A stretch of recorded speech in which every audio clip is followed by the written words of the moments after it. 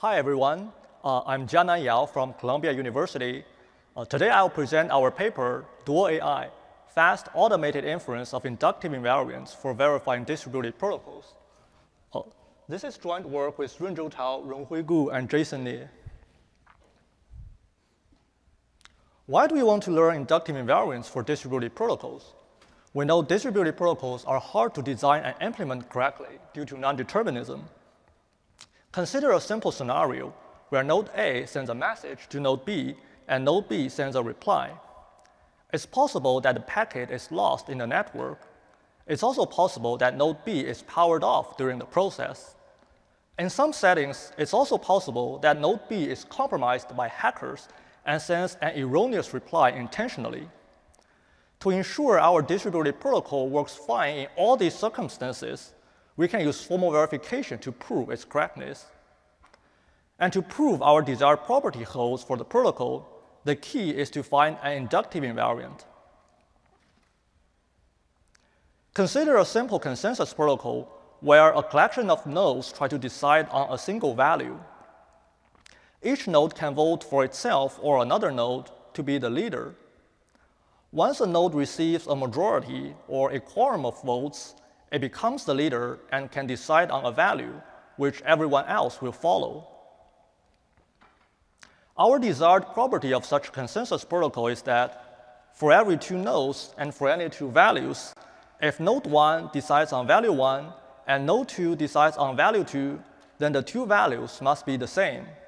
In other words, the system cannot decide on two distinct values. The correctness property is an invariant, which means it holds at any time during protocol execution. However, it is not strong enough to be inductive by itself. By inductive, we mean starting from any state that satisfies the invariant and taking any valid transition, we should reach a new state that still satisfies the invariant. To make the property inductive, we need to find four additional invariants such that the conjunction of the property and the invariants is strong enough to be inductive. We can see that most of these invariants include only for all quantifiers or universal quantifiers, while the third formula, exist quorum Q for all node N1, N2, includes both existential and universal quantifiers. Such an invariant is particularly challenging to find. The first challenge is the, the first challenge is the huge formula search space. For the simple consensus protocol, there are 35,000 candidate formulas if we consider formulas up, up to four terms. The second challenge is the slow SMT calls. To validate an invariant is correct, we have to call an SMT solver and these SMT queries can be prohibitively expensive. For the Paxos protocol, there are more than 100 correct invariants. If we want to prove 35 of them are correct and we throw them to an SMT solver, it will take three hours to complete the query. And we, if we throw 50 invariants to an SMT solver, it will time out after seven days. So we have to avoid too complex SMT queries. Well, actually, for the Paxos protocol, a small subset of 14 invariants are enough to prove our desired property, but it is unclear how to identify this small subset of invariants. There's a large body of existing work on invariant inference to verify distributed protocols. Just in the past 18 months, at least seven papers have been published in this area including our prior work, DistAI, which won the Best Paper Award at OSDI last year. The active research demonstrates both the importance of the problem and the challenges it faces. We can roughly divide the existing tools using three criteria, whether they support existential quantifiers, whether they have a theoretical guarantee to find the correct invariant, and whether they are scalable to large complex protocols such as stoppable Paxos we can see that no existing tool can do all three. In this paper, we present DuoAI, an automated invariant inference tool to verify distributed protocols. It learns invariants with both for and exists. It's guaranteed to find a correct inductive invariant if one exists, and it runs fast in practice. So DuoAI supports exist, have a guarantee, and can support large complex protocols, it solves all three challenges that no existing tool can. Here we introduce the workflow of Duo AI. Given the distributed protocols, we first simulate the protocol randomly and repeatedly. This gives us a collection of samples. Then we enumerate possible formulas and check their validity on the samples. This gives us a set of candidate invariants. Then Duo AI uses two procedures. One we call top-down refinement, the other we call bottom-up refinement. Both procedures interact with Ivy, which builds on top of the Z3 SMT solver, and try to refine the candidate invariants until they become inductive. The invariant enumeration and refinement procedures are parameterized by a formular search space. If we cannot find an inductive invariant within a small search space, we will enlarge our formular space and try again. Next, I'll talk about the four components in detail. First, protocol simulation. Given a distributed protocol, we do random simulation and record the execution traces. We get a set of uh, protocol states like these that we call samples. Any correct invariant must hold on all protocol states, so it must hold on all samples. We can use these samples to quickly filter out most incorrect invariants. For the simple consensus protocol, among the 35 candidate formulas, only around 2,000 hold on the samples, so that's a big reduction on the search space. Next, I'll talk about invariant enumeration. Although samples can reduce our search space to 2,000, there are still too many redundant invariants, and checking all of them is too slow. Our idea is to only find the strongest invariants. Consider these two formulas. Formula 1 says that every node votes for itself, while Formula 2 says that there exists a node that votes for itself. We know Formula 1 implies Formula 2, and what this implication further means is that if we already have Formula 1 in our invariant set, then adding Formula 2 has no benefits other than making SMT checking slower. So Duo AI will try to first enumerate and check Formula 1, and only when it fails will Duo AI move on to consider Formula 2. To systematically capture these implication relations, we propose the minimum implication graph here we show a fraction of the graph for the simple consensus protocol. Each node represents a formula, and each edge represents an implication relation between two formulas. One can verify that along each edge, the predecessor implies the successor.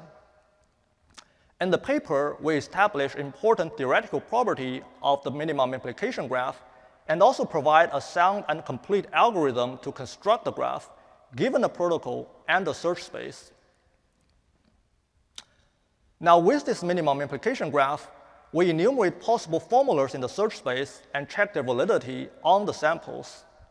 We start with the strongest possible formulas, here formula A, which is not implied by anyone else. Pending means it will be checked next. So suppose formula A does not hold on the samples, we will make it invalidated and we will move on to consider its weaker forms, its successors B and C, Next, suppose formula B holds on the samples. We will make it a candidate invariant. And very importantly, we will not move on to consider either formula D or E. As we said before, when a stronger formula is already in the candidate set, adding a weaker one is a waste of time. So we'll move on to consider formula C. Suppose it doesn't hold on the samples, we'll make it invalidated, and we'll move on to consider formula E and F. For formula E, because it, already has another predecessor, B, in the candidate set, we will simply skip this formula instead of checking it. For formula F, suppose it holds on the samples, we will make it a candidate invariant. This gives our final candidate invariant set, formulas B and F. Using the minimum implication graph, enumeration ends with the 19 strongest candidate invariants. This process ensures that we do not miss any correct invariant in the huge search space, and also we do not include any redundant invariant. Next, I'll talk about top-down refinement. Let's continue with our example. After enumeration, we will feed the candidate invariants to Ivy, which we'll call the SMT solver to prove their correctness. Suppose Ivy says everything is inductive, then we are down and the protocol is proved. But if Ivy says, well, formula B is not inductive, then we need to weaken this failed formula. Why weaken? Because we know that invariant enumeration gives the strongest possible formulas. So when it fails, it can only be too strong rather than too weak. So here we need to weaken formula B, and the way to do that is to make B invalidated and add its weaker forms, formulas D and E, to the candidate set. In the next iteration, Ivy will determine whether formulas D and E are inductive, and we may continue weakening accordingly until we reach an inductive invariant. Next, I'll talk about bottom-up refinement. So why do we bother to have another refinement procedure other than top-down refinement? Well, we observe that SMT solvers struggle when there are both for all and exists in the invariants. We find that when there are more than 20 such invariants, it takes hours or longer to complete a single SMT query. And for some real complex protocols, there are hundreds or more such invariants. So DuoAI goes through a separation process that divides the candidate invariants into a universal inductive core and other non-core invariants. The universal inductive core, as its name suggests, only include universal, only include universal quantifiers, so they are friendly to SMT solvers. The core is inductive by itself, although it may not prove our desired property. On the other hand, non-core candidates mostly consist of invariants with both for and exists, and they are costly to SMT solvers. In practice, very few of these non-core candidates are needed to prove the protocol.